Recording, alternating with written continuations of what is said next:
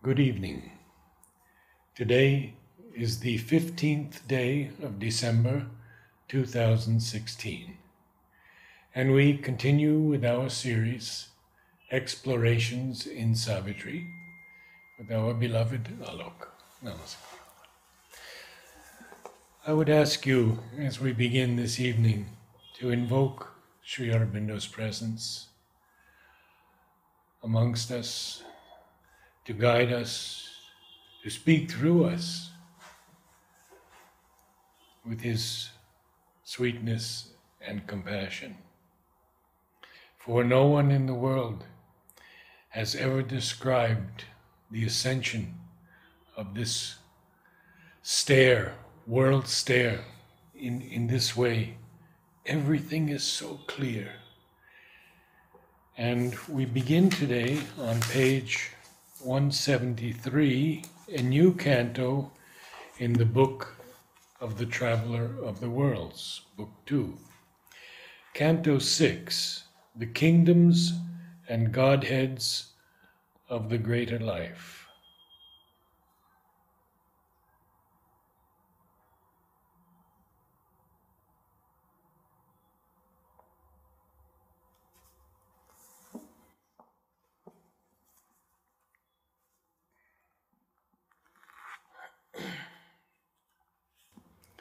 As we know, this ascension is undertaken by Aswapati, the seer king, as a representative of the human race. If he wanted, he could have gone ahead and completed his individual yoga.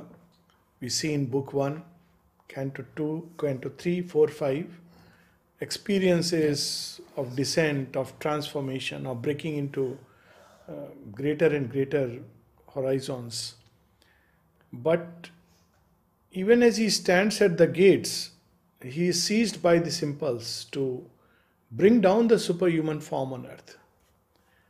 And once he is occupied with that, he has to now take a longer route. This we know in Sri Aurobindo and the mother's life. Yes. When they stood at this choice whether to complete their individual yoga or carry everyone along. One choice was to complete their individual transformation and then get back. And become supramentalized. Yes. Yes. The problem with that was that um, there would have been such a disconnect. As such, there is such a disconnect. Uh, unless you get connected through the deeper heart and there is a grace. Otherwise, when people start approaching from the mind, they feel it's infinity, which is which is a fact. So had they gone ahead and gone ahead with the individual supramentalization, it would have been very difficult for humanity to connect with them. But at the same time, it is, as you said, most more importantly, it is the compassion of Sri Aurobindo.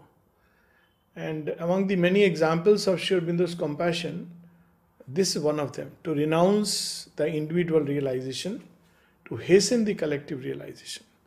Very often we think of uh, compassion as, you know, opening hospitals, giving food to the poor. Yeah. Uh, that's philanthropy. Yes. Very often an egoistic philanthropy. But Sri Aurobindo's compassion, the mother's compassion, is a renunciation of divinity to help struggling humanity to take another step. And in this process, we see in Book 2 now Aswapati making an ascension as a representative of the race and he is in search of that key which will transform humanity. So he has reached this stair. The plan of this book we know basically there are threefold heavens and abysses the subtle matter, that is the world just behind matter. Then you have the vital worlds or the life worlds to which Sri Aurobindo devotes so many lines and wonderful pages and then the mind worlds. And each of them have their highs and their lows. And one could easily mistake any of the highs of any of these worlds as the highest heaven. They are so beautiful. And they have their abysses also which are like shadows gaping just below the worlds.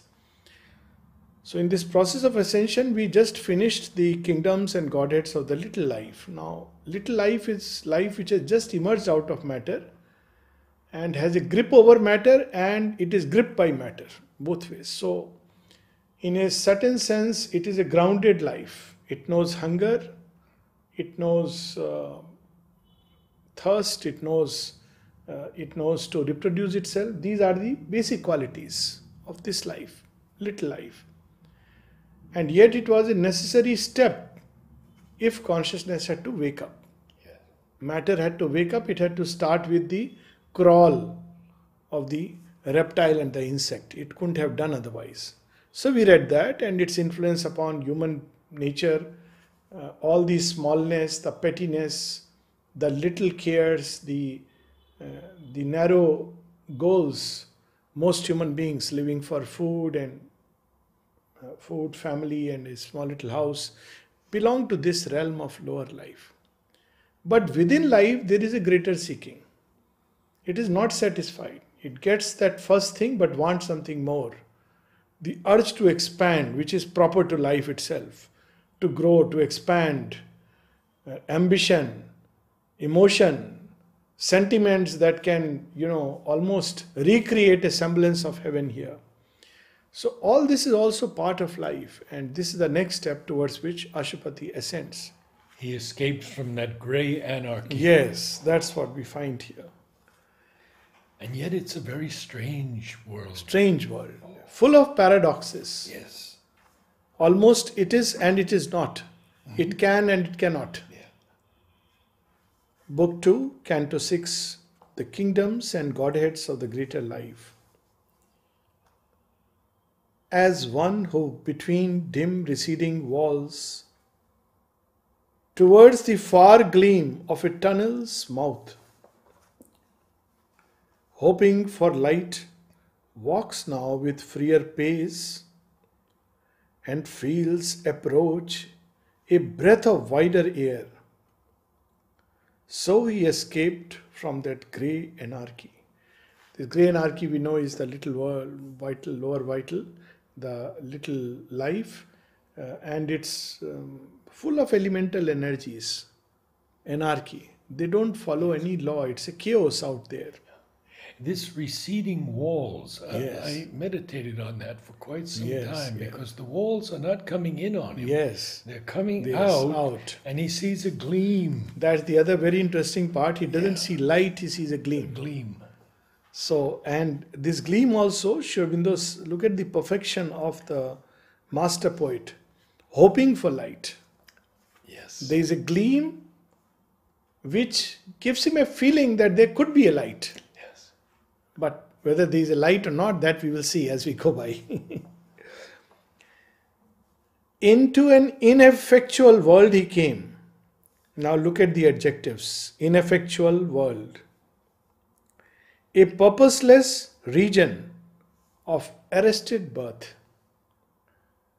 where being from non being fled and dared to live but had no strength long to abide. So it's a world full of hopes of light, but you have only gleams. Yes. Where there is a daring, but not the finding, And a fleeing Yes. from, non-being to being, Yes. but not quite not finding it. it. Yes. So this is the. That's mm. why Sri uses the word ineffectual, mm-hmm. purposeless, and purposeless. and of course arrested birth. It is as if it was going to reach somewhere, but could not. It was not stillborn, but born defective. It could do things, but is not capable of it. And why is it so? That he will reveal to us. Above there gleamed a pondering brow of sky, tormented, crossed by wings of doubtful haze, adventuring with a voice of roaming winds, and crying for a direction in the void, like blind souls looking for the selves they lost and wandering through unfamiliar worlds, wings of vague questioning met the query of space. In the lower vital world, one is just satisfied with the smallness. There is no question, there is no query. Here there is a question, but every time one tosses the question upward, all that one meets is a doubtful haze. Because above this world is the Yes. whole region of mind.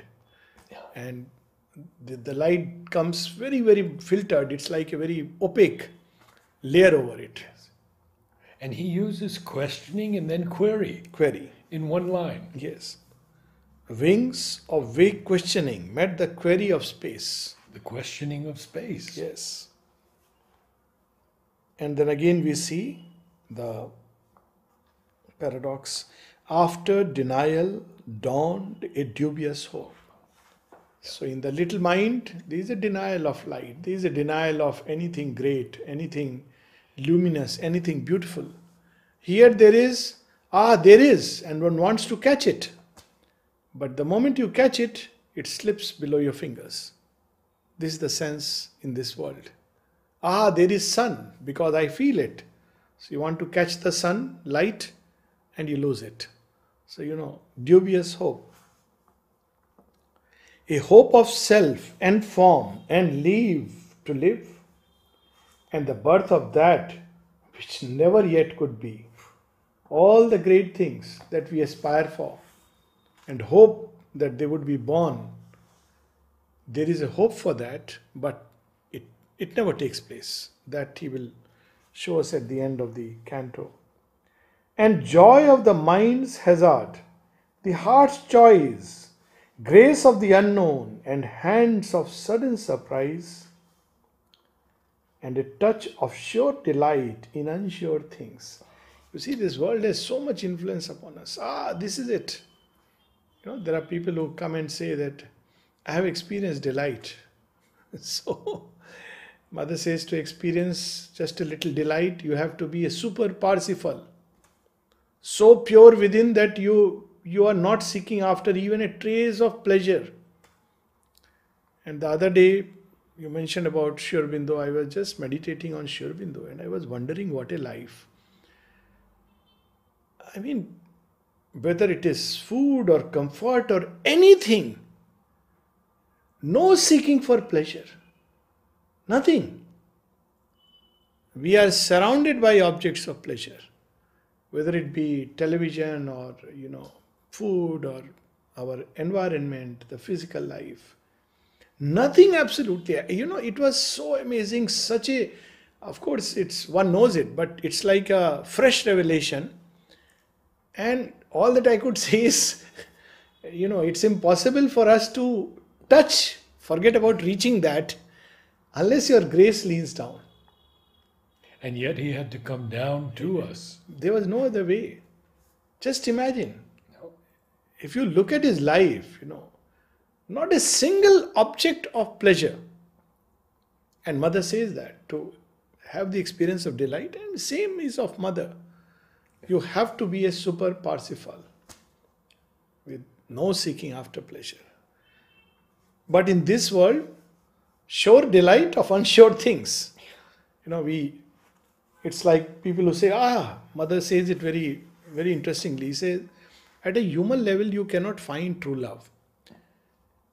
Yet you have to go through these illusions to, you know, arrive at uh, that true touch.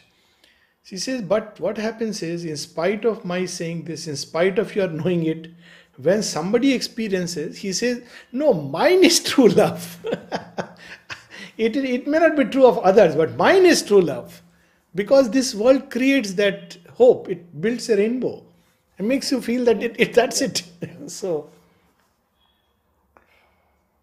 to a strange, uncertain tract, his journey came where consciousness played with unconscious self and birth was an attempt or episode.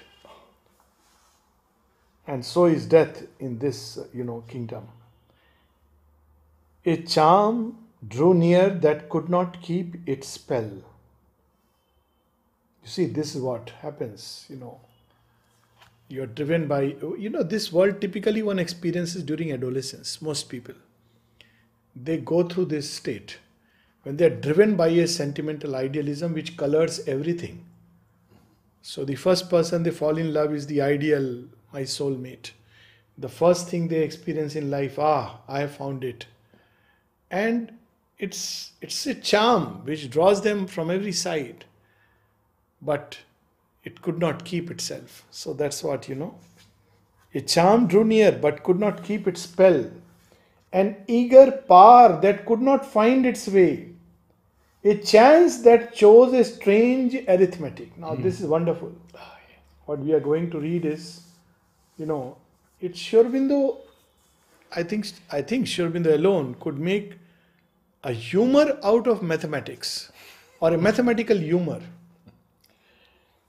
You see, and what is- scientific as well. yeah. and uh, so I have an The answer. dream of surreal science. Yeah, a dream of surreal science, of science as well. But you know, here it's hard mathematics. Yes. A chance that chose a strange arithmetic, but could not bind with it the forms it made. A multitude that could not guard its sum, which less than zero grew and more than one. I remember long back somebody, I was just a witness to a parley between two persons. Mm. And someone raised this question to the other learned gentleman what does it mean? Less than zero and more than one. And they both went rambling into mathematical worlds. but if you look at it, it's a very simple answer. You know, it's a it's a state of consciousness eh, because these are states of consciousness.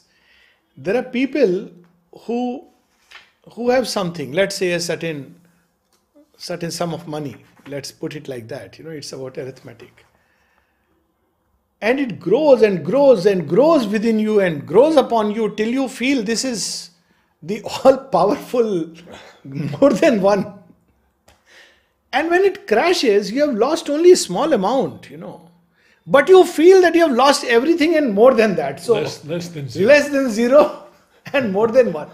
So psychologically, because of my psychological background, and you know now I see it happening all around in India with that demonetization Ah, thing. yes. Overnight, people feel that they have become less than zero, and some others feel they have become greater than one. so, or felt earlier. So you know, it's a state. It, that's why it's a strange arithmetic it cannot guard its sum. The moment you make a form, it changes because it's a realm of life. It expands. You see, the moment in this realm you make a person a minister, he's not stable. He's already eyeing on the king's post. So, you know, it's a form which is ever expanding. So, before you can hold it, it has already grown. So, it's a very beautiful description arriving at a large and shadowy sense that cared not to define its fleeting drift. Life labored in a strange and mythic air, denuded of her sweet, magnificent suns. They'll come later. It's a mythic air. You can call it half real, can call it half untrue. Here Sri is using the word mythic in that sense. Caring not to define its Caring not to define. drift. It's just going, you know, when you are in adolescence and people say, you know, what is your goal? What goal? I live. I am being, you know, I am just obeying my heart. so you see this touch of this life, then reason will come, then it will temper down everything, or the little mind. We'll see all this hierarchy in um, in the developmental stages. You know, in psychology, there is a lot of talk about developmental stages. But Sri Aurobindo is also given the developmental stages here. You see the little life which uh, comes in a little baby. Uh, all that he knows is to eat, to drink, to evacuate, and sleep. sleep. That's the little life and little pleasure, you know, suckling, and that's it. Then comes this, as he grows, the touch of a greater life. Then we will see the little mind, the greater mind, you know, all this come. Of course, most will stop with little mind. That's unfortunate. In worlds imagined, never yet made true. So, a lot of artists are inspired from these worlds. A lingering glimmer on creation's verge once strayed and dreamed and never stopped to achieve. That just to dream is enough. It's a joy. Yeah. So we have a gleam, now we have a glimmer. Yes, glimmer. and never achieved. So, you know, No.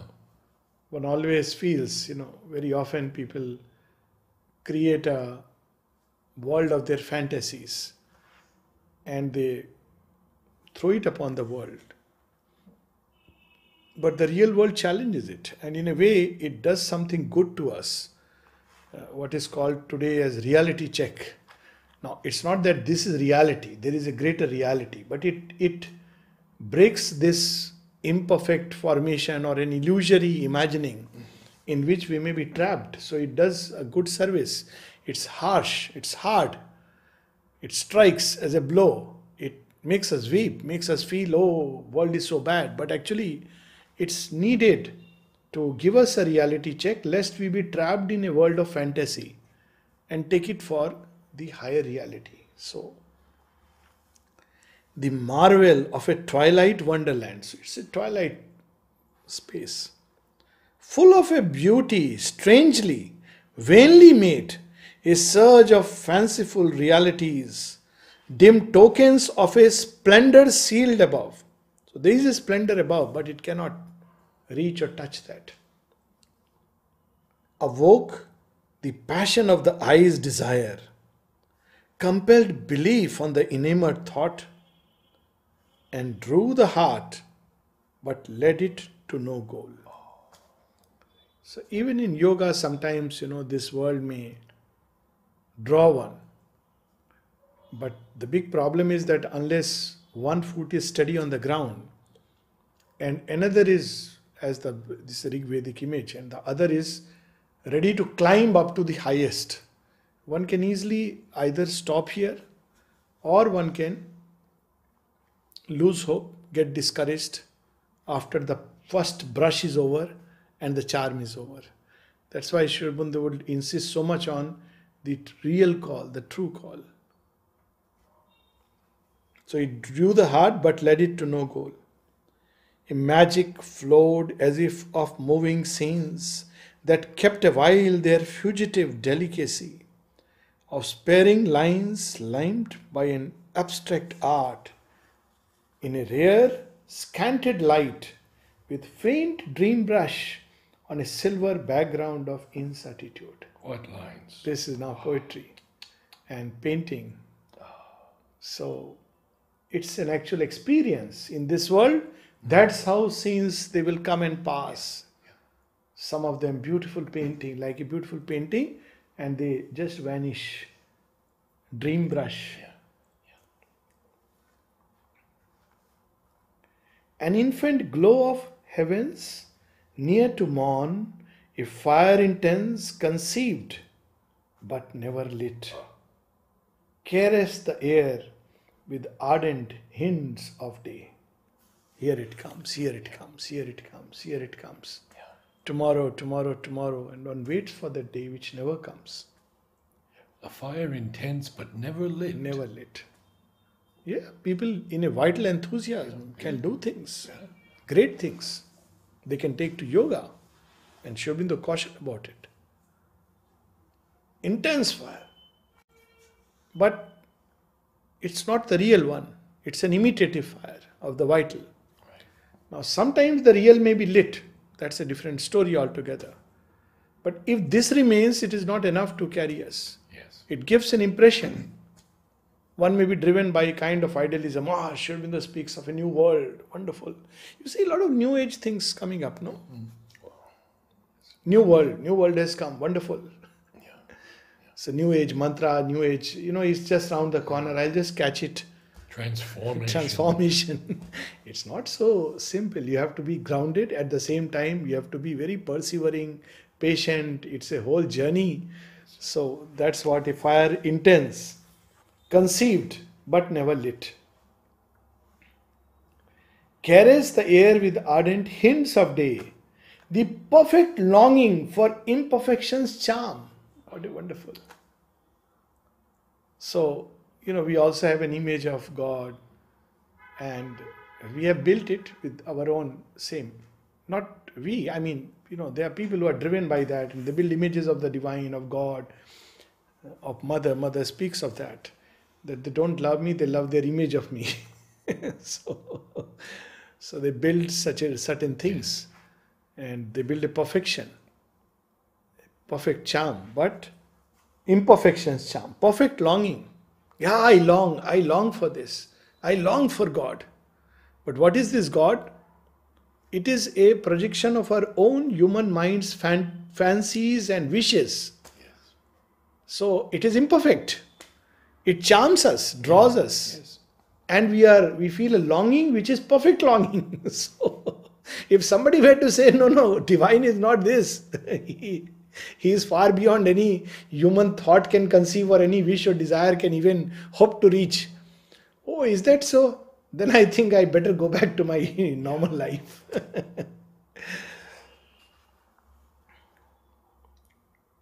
and look at this line the perfect longing for imperfections charm the illumined caught by the snare of ignorance ethereal creatures drawn by body's lure to that region of promise beating invisible wings came hungry for the joy of finite life it was not really seeking for the ultimate beatitude Yeah.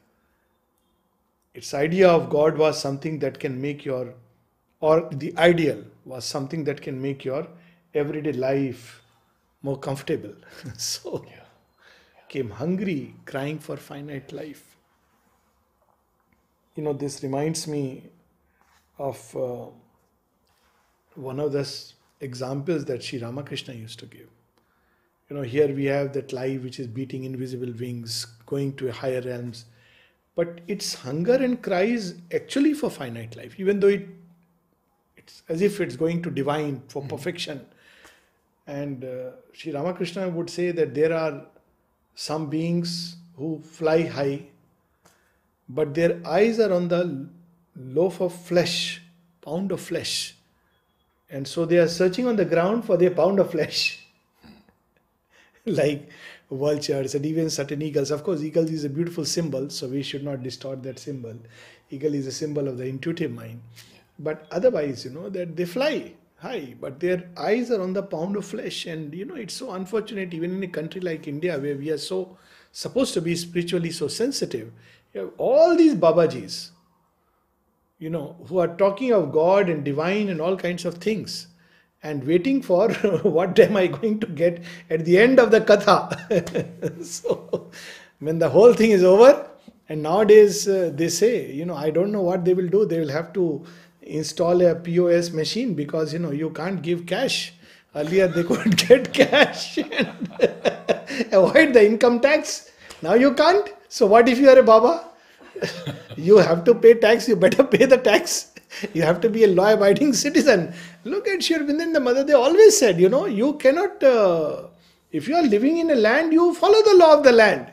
He used to tell the disciples because they felt, some of them, we are above the law because, you know, we are with the divine. So he said that's true of your inner state. When you live in a country, you follow the law of the country. As simple as that. Even this he had to write and explain to the disciples. Can you imagine? so, so we were, you know, came hungry for the joy of finite life, but too divine to tread created soil and shared the fate of perishable things. So it was caught in between. You know, Yeah. it felt itself too divine. so how can it go and you know it's a very image that is very funny. One is eyeing on the pound of flesh, but well, one feels one is too high and too divine. And how can one tread on that soil of perishable things? So one is ever hanging in between, neither going up nor you know going below.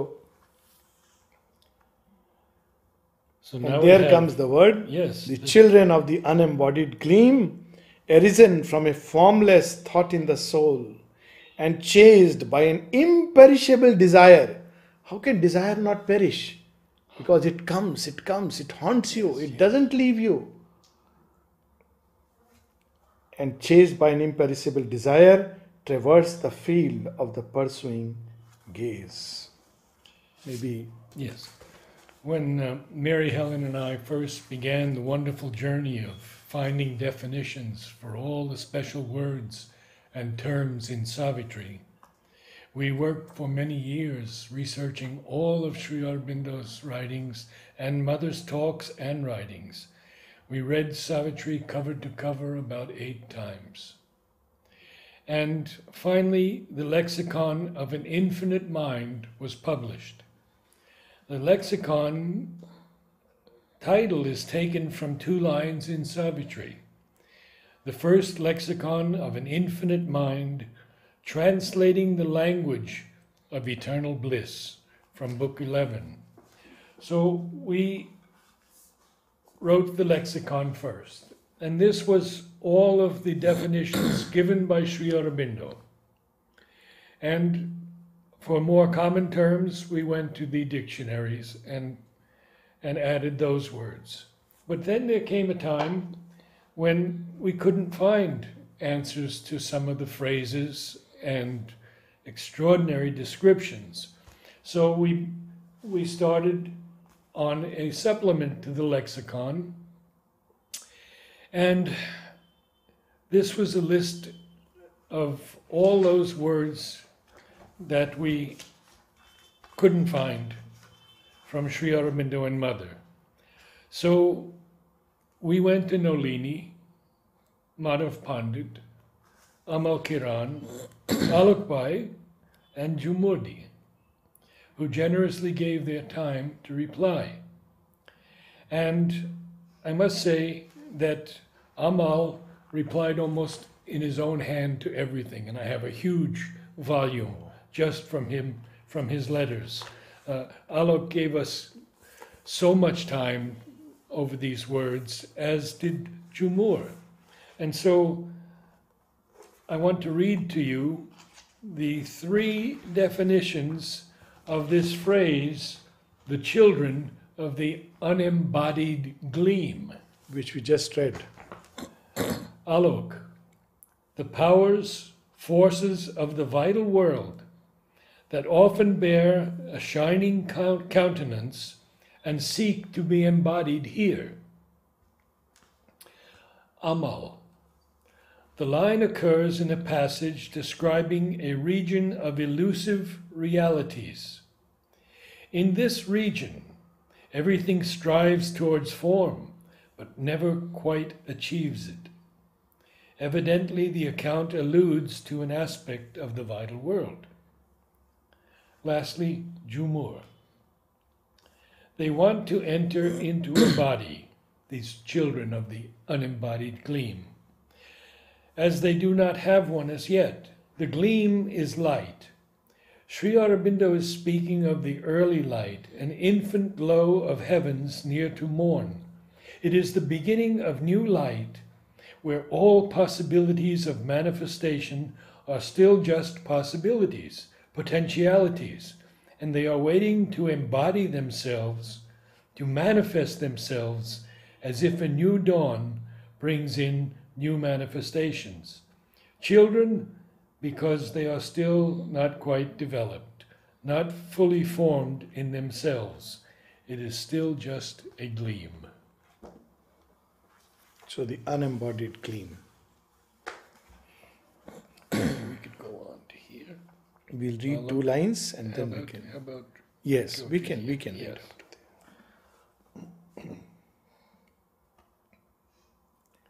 So we have again that you know what we just read, the elusiveness of this world, where everything seems to be real and then it vanishes into as if unreal. It cannot stabilize itself, it cannot fix itself, it cannot give form to itself. A will that unpersisting failed worked there. Look at this. Unpersisting failed. Now it's whether unpersisting is the cause of the failure or whether he's simply describing a will which by its nature it, it is fleeting, it's, it doesn't persist. no. and yes, it fails. Yes. Life was a search, but finding never came. You know, this canto, whole canto also reminded me of a long letter of Sri Aurobindo. Since you mentioned about the word gleam, it's called the Valley of the Intermediate Glimmer. And he also uses the word gleam there artificial gleam, false glimmer, and intermediate gleam. And he says that all who take to yoga have to pass through it. And while you are passing, you enter this zone, it's easy enough to mistake this world for the reality. It can imitate almost everything of the higher truth, but none of them is substantial. And so one can be easily trapped. There's a whole long letter. Maybe, you know, we'll read sometime mm-hmm. because Sri Aurobindo again uses the word glimmer, which we have just read. And he uses the word gleam and beings and forces there, how they are tending towards earth. And this is the description we find. There nothing satisfied, but all allured. Things seem to be that never wholly are. Images were seen that looked like living acts. Looked. It has something which almost um, imitates as if these are real acts. You know, people, for instance, uh, let me give an example, you know, certain gestures that people with this, uh, moved by this larger vital, can make. They can give themselves. You know, they often say, but this giving is very different from the giving which is impelled by the psychic. So, look like living acts, and yet, you know, they can give away everything. This, this part of the vital can do it, it's a gesture. And yet, it is not that. And symbols hid the sense they claimed to show. Pale dreams grew real to the dreamer's eyes. The souls came there that vainly strive for birth. Ah, there it is. Here it comes. Yes. It is the valley of the intermediate This is glimmer. it. Yes. Yes. The souls came there that vainly strive for birth, and spirits entrapped might wander through all time, yet never find the truth by which they live. So there, there it is. So Maybe we we, could read that next time. yes, we could read that next time, that letter. Yes. And this region is described, like all these worlds are described in a different way in Mother's Yoga.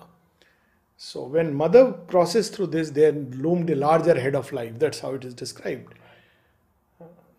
Similar things, souls trapped there never can escape. Of course, she qualifies it. It's Sri qualifies it. Why they cannot escape? That's the interesting part. Because they believe that they are in a region of truth and light. So they don't want to escape. You know what may be happening to some of these so called spiritual figures? They don't want to because they feel they have found the truth and they found the light. So they don't want to escape and say their death walks wearing a robe of deathless life. Yes. So they are so happy about it. So here it is.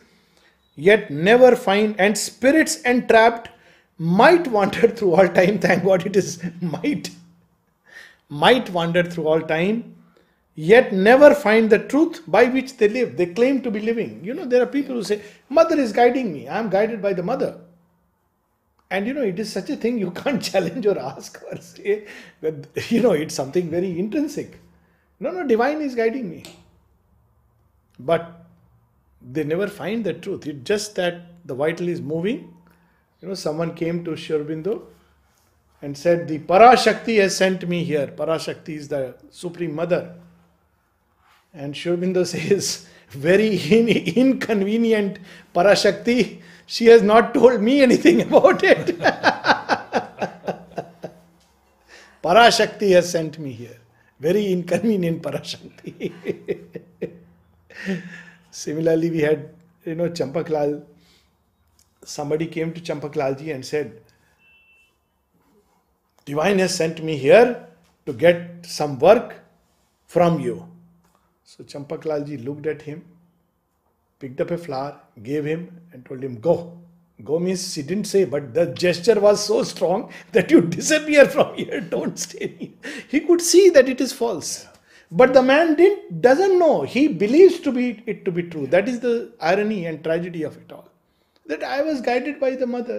Divine has guided me. He would even say ki he doesn't know. And then the one who came to Champaklal and bowed before him, Huh. and he picked up his by picked him up by the hair and brought him over to mother. yes. It needs too tremendous sincerity to escape this Yes. net. So last four lines. All ran, all ran like hopes that hunt a lurking chance. Nothing was solid, nothing felt complete. You know, that is another reason why they want to take a form and enter matter. Because that's their chance. All was unsafe, miraculous, and half true. It seemed a realm of lives that had no base. Look at these lines all was unsafe, Miraculous. miraculous, and half true. So, at a perfect place, we have stopped. This is just a hint of what is going to come.